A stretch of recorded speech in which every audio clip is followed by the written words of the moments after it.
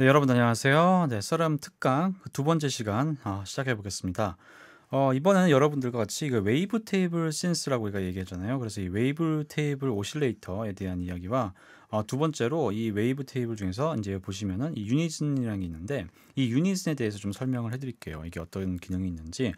자, 먼저 여러분들이 이 wavetable이란 뭔가 이렇게 궁금하신 분들이 많을 텐데 이건 하나의 그냥 웨이브 파형의 샘플이라고 보시면 됩니다. 우리 초창기 신디사이저를 잠깐 설명해 드리자면은 뭐 이런 게 가장 뭐 비슷한 그런 모델이라고 우리가 할 수 있는데요. 이런 oscillator 다시 말해서 이런 한 사이클 이게 이제 지금 뭐 아, 이게 한 사이클 정도 될 거예요. 이런 한 사이클 된 이런 모양들의 파형을 계속 반복을 시키면서 쓰는 게 이제 우리가 알고 있는 옛날 신디사이저의 모습이라고 할 수가 있습니다. 어, 이게 장점은 아무래도 메모리가 적, 적어도 뭐 한 사이클에만 있으면은 우리가 어느 정도 어떤 음악을 만들 수 있기 때문에 뭐 옛날 신디사이저 같은 경우는 그 뭐 메가바이트 심지어 킬로바이트 단위의 아주 작은 어, 그런 이제 웨이브 파형을 많이 썼거든요. 그런데 이런 이런 것들이 이제 발전을 하면서 이제 그 대용량 이제 waveform을 이용해서 이제 이걸 신디사이저로 가공을 하게 어, 된 게 바로 이제 웨이브 어, table의 일종이라고 볼 수 있습니다.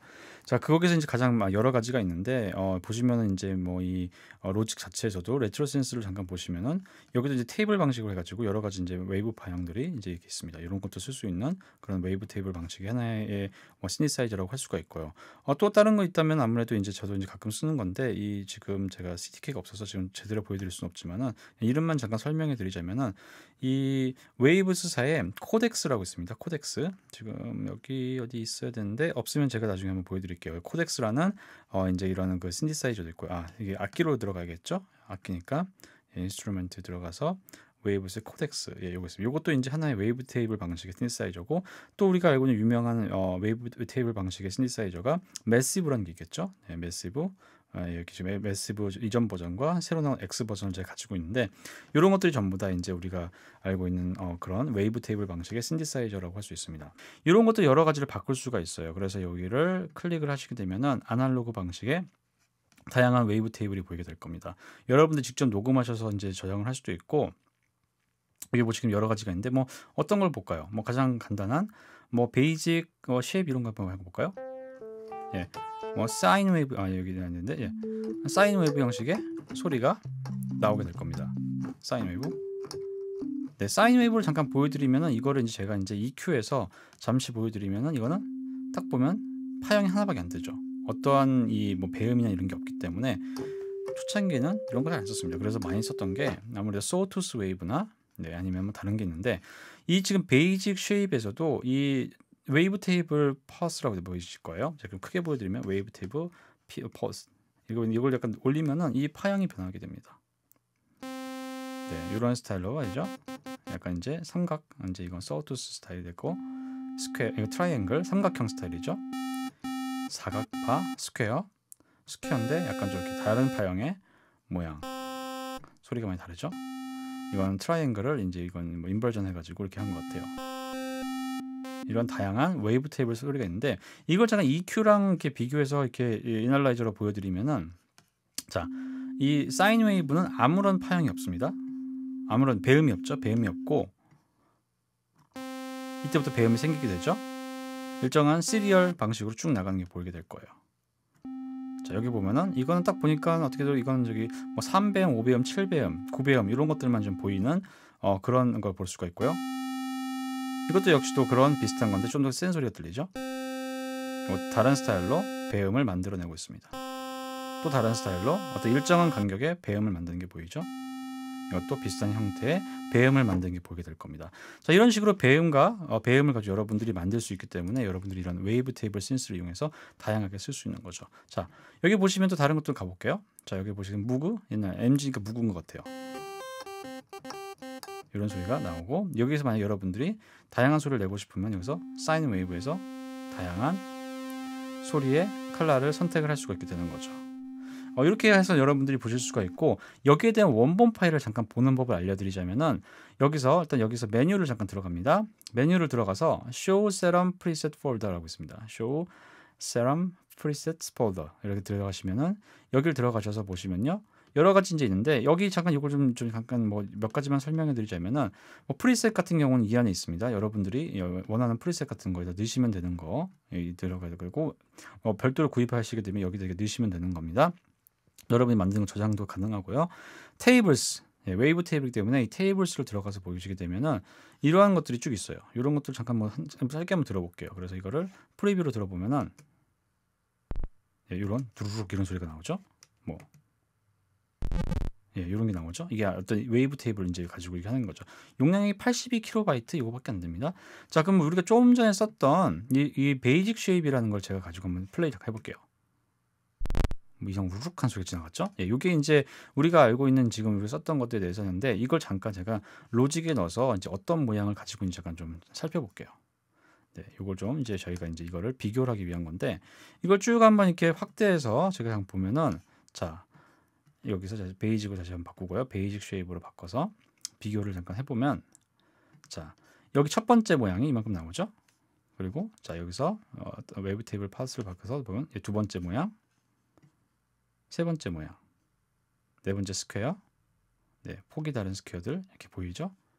뒤집힌 모양까지 예, 이런 식으로 이런 이거 웨이브 파일을 저장을 해서 이걸 쓰게 되는 거죠. 예, 이런 게 이제 기능이 있고 어, 이런 것들을 이제 뭐 자유스럽게 바꿀 수 있는 게 아무래도 이러한 wavetable synthesizer 장점인데 이거는 지금 아까 어떻게 보면은 2차원적인 형태의 XY 형태로만 저희가 볼 수 있을 거예요. 근데 이게 알다시피 음악은 시간의적인 거잖아요. 이건 한 사이클에 여러 가지 사이클을 볼 수 있는 게 있는데 이렇게 보시고 싶으시면 여기를 클릭을 하시면은 이런 모양이 나오는 거죠. 3차원적인 형태의 파형이 어떻게 바뀌는지를 볼 수가 있게 되는 거죠.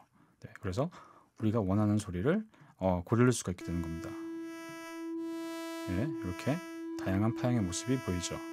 파형과 파형을 이어주는 모습, 파형과 파형의 중간 모습. 자, 이것도 잠깐 이렇게 먼저 이렇게 이퀄라이저를 보면서 배음 구조를 잠깐 보면은 배음이 변하는 게 보이죠? 다양한 배음대가 보이고 예, 하모닉스가 적은 것도 보이고 이런 식으로 여러분들이 소리를 결정할 수가 있는 거죠. 만약에 내가 여기서 이 어떤 특정한 배음과 배음 대역을 연속적으로 시간차를 위해서 사용하고 싶다. 어, 그럴 때 이제 우리가 LFO라는 걸 이용해 쓸 수 있습니다. LFO를 POS 이게 여기 어, wavetable에 두시면 다음에 하면은 움직이게 되는 거죠. 이 파형을 내가 좀 너무 빠르다. 이건 뭐 내가 이제 알아서 좀 조절하고 싶다. 그러면 여기서 원하는 만큼 음악에 맞게 할 수가 있는 거겠죠. BPM이 원, 원치 않으면은 말 그대로 low frequency oscillator를 이용하여 여러분들이 원하는 만큼의 반복 사이클을 결정할 수 있습니다. 시작되는 위치를 바꾸고 싶다. 나는 sine부터 시작하고 싶다. sine부터 시작해서 바꿀 수가 있고 여기서 나는 다른 형태의 어, low frequen 이, 이 LFO를 원한다. 그러면은 여기 있는 이 파일 모양, 이 폴더 모양인 걸 들어가셔서 뭐 side chain 방식으로 한번 해볼까요? 이거를 좀 빨리 가볼까요? 비트에 맞춰서 하고 싶다. 전체를 하고 싶다. square부터 하고 싶다. 이런 식으로 바꿀 수가 있게 되는 거죠. 자, 이런 것들을 이용해서 하시는 게 이제 wavetable 방식을 이용해 가지고 어, 여러분들이 쓸 수 있는 어, 그런 방법이라고 할 수 있습니다. 자, 이런 게 이제 어, wavetable에 대한 설명이고요. 어, 네. 다음으로 이제 제가 설명해 드릴 거는 이제 이 unison 모드라는 건데 어, unison 모드를 들어가기 전에 제가 먼저 처음으로 보여드리고 싶은 거는 우선 먼저 다시 한번 어, preset initial preset으로 먼저 들어갈게요. initial preset으로 먼저 들어간 다음에 여기서부터 제가 무언가를 다시 한번 시작해 볼게요. 자, 요거는 지금 필요 없기 때문에 잠깐 끄겠습니다. 자, initial preset을 잠깐 보시면은 지금 가장 초기의 모습 이 사각파만 있는데 사각파가 아무래도 좋은 점은 이 모든 이 배음대가 쭉 보입니다.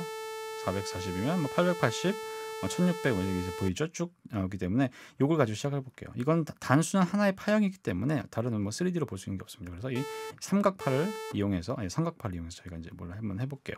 자, 그럼 여기서 이제 유니즘 모드는 이 셋업만 가지고 있는 가장 독특한 기능이라고 할 수가 있는데 이거는 동시에 같은 음을 여러 개 올릴 수 있는 기능이라고 보시면 돼요. 그래서 뭐 우선 제가 이거를 한 3 정도로 올려보면은 이 가운데 가운데 이제 이런 게 하나 생기면서 사이드에 스테레오적인 효과를 나오게 되는 거죠. 자, 이거를 약간 detune을 이용해서 tune을 맞추거나 완전히 다른 tune으로 갈 수도 있게 할 수 있는 부분이죠. 네, 여기서 detune. 또, 또한개 좋은 점은 이 blend라는 기능인데 이 blend라는 기능을 이용해서 메인 센터 소리와 사이드 소리에 대한 밸런스를 조절할 수 있게 되는 겁니다. 자, 근데 여기서 이제 뭐 많이 달라지죠. 이게 여러 가지 소리가 동시에 많이 발진이 되면서 볼륨이 커질 수가 있어요. 그래서 항상 이 마스터 볼륨을 적절하게 조절하면서 간다는 걸 주, 어, 주의해 주시고 혹시라도 이제 좀 이전 맥을 쓰시는 분들은 아시겠지만 이 CPU 소모량이 굉장히 많이 올라갈 수 있습니다. 그래서 제가 잠깐 보여드리면은 제 건 이제 제 맥북은 트레드가 8개라 가지고 8개 나오는데 지금 뭐 어, 일단 이제 하나로 바꿔볼게요. 하나로 바꿔보. 우리 제가 이걸 16개로 바꿔보겠습니다. 네, 뭔가 많이 올라가죠? 두 개로 바꿔볼게요. 또 16개로 올려볼게요. 점점 이렇게 CPU 소모량이 증가되기 때문에 이제 여러분들이 쓸 수 있는 그런 한계가들이 있거든요. 그래서 여기에 대한 것들 이렇게 tracking 하시면서 이 unison 모드를 사용하시면 굉장히 좋습니다. 다시 한번 이제 보여드리면은 뭐 이제 이런 기능도 있습니다. 여기서 어, 이 wavetable 제가 B를 잠깐 끄고 여기서 이제 어, 이 global로 잠깐 들어가서 설명을 드리자면은 요건 이제 어, wavetable oscillator A, B 이렇게 보시면 돼요. 그래서 여기서 두 가지만 좀 잠깐 보여드리면은 먼저 이 range를 여러분이 이제 설정할 수 있습니다. tune range를 결정하는 건데 어 뭐 여기서 제가 이제 이거를 5로 하게 되면 더 이제 음정 폭이 넓어지겠죠. 예, 48까지 올리게 되면 최대치가 되는 거죠. 그럼 이걸 가지고 이제 이런 장난을 좀 쳐볼 수가 있는데 제가 이거 해볼게요. D2를 제가 끈 상태에서 하나만 누르고 이거를 다섯 개 정도로 올려보겠습니다. 다섯 개 정도로 올려보고 이 상황에서 이거를 네 이런 식으로 이제 우리가 변화를 줄 수가 있는 거죠. 많이 들어봤죠? 네, 영화 시작할 때 혹시 THX라는 그 영화 어 이제 뭐 오디오 돌비 같은 이런 게 있는데 그런 거 이제 할 때 아마 이런 효과를 이용해서 하지 않았을까라는 그런 생각이 듭니다. 예, 이런 비슷한 두 옥타브로 하면 뭐 비슷하게 나올 것 같긴 하거든요.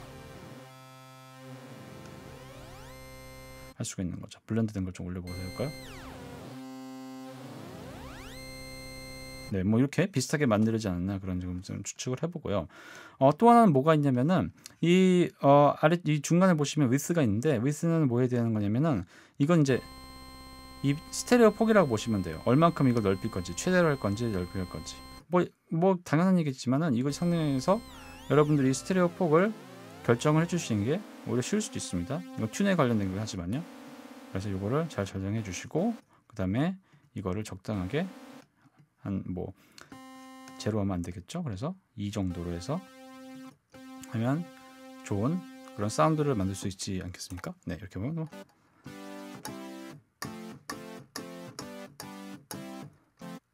네, 이런 식으로 뭐 이제 어, 뭐 바닐라의 점프 같은 노래 이제 전주에 쓰는 그런 소리를 비슷하게 좀 해봤는데요. 뭐 별도로 제가 만진 건 없죠. 자체에 있는 유니즘만 가지고 이런 소리를 한번 만들어 봤습니다.